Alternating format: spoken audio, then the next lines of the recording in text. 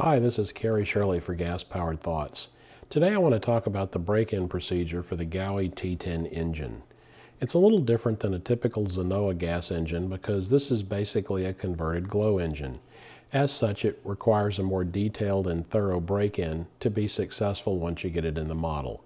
If you look at the instructions that came with this engine, Gaui actually recommends mounting it in the model and idling it for four tanks of fuel. Now that's going to take hours. I don't know about you, but I really don't have time to do something like that. I'm going to find that very boring and uh, difficult to do. So I'm going to show you how to put it on a run-up stand, much like you would an RC airplane engine, and put a propeller on it, and actually break it in like you would, uh, as I said, a typical glow engine. So let's get started with that process. So let's start off by getting the needle valve settings ready for break-in. This is the low speed needle. The instructions will tell you to set this at four and a quarter turns from fully closed. The way to get it fully closed is to literally grab the throttle barrel and hold it shut while you screw the needle valve in until it seats. Now what I found was four and a quarter turns was so rich I couldn't even get it started. So what I recommend you do is simply set it so that it's flush with the machine surface on the outside of the carburetor here like you see. That's going to be a good spot for it. Now on the high-speed needle, which is this big one, the instructions specify setting it one and a quarter turns out. I set it at about one and a half, which seemed to be a good spot for uh, the break-in process.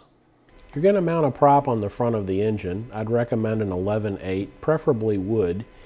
Goes over the shaft, use the nut that came with the engine plus a washer. It's going to go up against the timing ring as shown. Make sure this is good and tight and check it occasionally to make sure it stays tight. Building a run-up stand isn't very complicated.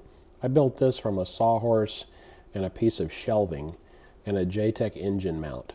All you really need is a way to mount the engine and the fuel tank, and in this case the electronic ignition and a battery to power it. As you can see I also added a servo and a receiver so I could control this remotely uh, I don't have to stand next to it while it's running. And as you see in a little bit later, it wasn't just a constant RPM run. The only other thing you need to do is uh, mix up some fuel. I always run lantern fuel, even in this engine, like Coleman type lantern fuel. And you need a great deal of oil for this engine for reasons I outlined in my build thread. You need 20% oil, which is about 25 ounces per gallon. It's quite a bit of oil. But once you get it mixed up, you're ready to start your run-in process, which we'll follow up with next.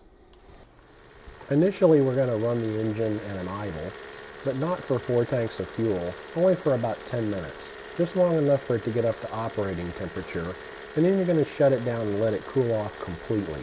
As you can see, it's going to be running pretty rough because it's very rich at this point, and that's exactly what you want. After the initial run-in, you want to run the engine at about one-third throttle for about three tanks of fuel, letting it cool down between each one. The fuel will actually go fairly quickly because the engine is still rich at this point. This is about how it'll sound. Now you want to run two tanks of fuel at about three quarters throttle. It shouldn't be two-stroking at this point. If it is, you need to richen it up some. It should sound about like this. If it is two-stroking, then go ahead and richen it up slightly. Now in stage three, you're going to start varying the engine speed from idle all the way up to full throttle. And you're going to cycle it up and down in that manner through a full tank of fuel. As you get towards the end, you might consider leaning the high-speed needle just slightly so that the engine is able to two-stroke, but you don't want to hold it in that mode for very long before going back to idle. Finally, in stage four, you're going to simply run the engine at full speed for a full tank of fuel. You want to make sure you let it come up to operating temperature before you do this, however. Finally, you want to switch the prop out to a 10-8 and make another full speed run for a full tank of fuel. You're going to need to richen it up slightly because the engine's going to be turning much faster at this point. And that's really it. At this point, the engine's ready to fly.